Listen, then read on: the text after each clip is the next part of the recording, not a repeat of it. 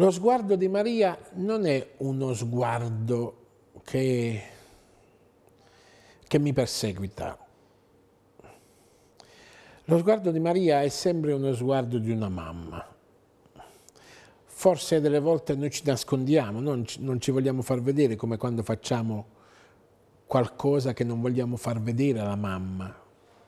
Eppure anche quando ci nascondiamo, quello sguardo ci segue sempre perché è sguardo di amore, sguardo di luce, anzi più sono nelle tenebre, nel dolore, nella sofferenza, nella malattia, nella rabbia, nel non senso della vita, più mi allontano da, dalla luce che è Dio, più mi allontano da lei che riflette della luce di Dio, e più il suo sguardo mi segue. Perché come ogni mamma vuole sempre salvare i suoi figli lo sguardo di Maria. E in questo mese cerchiamo di sentire veramente il suo sguardo entrare nella nostra vita, entrare nel nostro cuore, entrare nei nostri problemi, nelle nostre gioie, nelle nostre speranze e nelle difficoltà della nostra esistenza.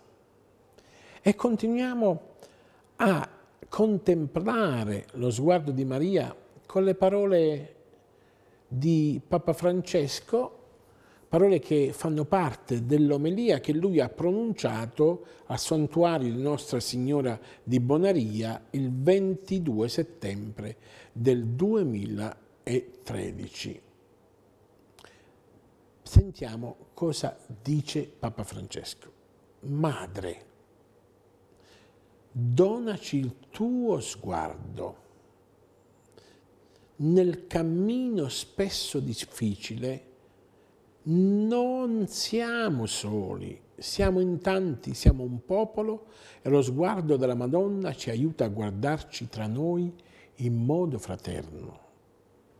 Guardiamoci in modo più fraterno.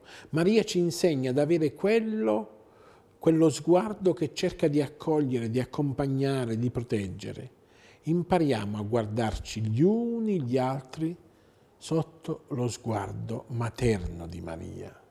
Che bella questa immagine. Imparare a sentirsi fratelli, a sentirsi, a sentirsi sorelle, ad amarci sotto lo sguardo materno di Maria.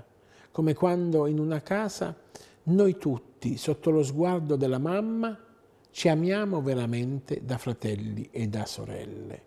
Quello sguardo che mette unità, quello sguardo che ci aiuta a comprenderci e ad amarci l'uno e l'altro. Ci sono persone, continua Papa Francesco, che istintivamente consideriamo di meno e che invece ne hanno più bisogno. I più abbandonati, i malati, coloro che non hanno di che vivere, coloro che, che non conoscono Gesù, i giovani che sono in difficoltà, i giovani che non trovano lavoro non abbiamo paura di uscire e guardare i nostri fratelli e sorelle con lo sguardo della Madonna. Lei ci invita ad essere veri fratelli e non permettiamo che qualcosa o qualcuno si frapponga tra noi e lo sguardo della Madonna.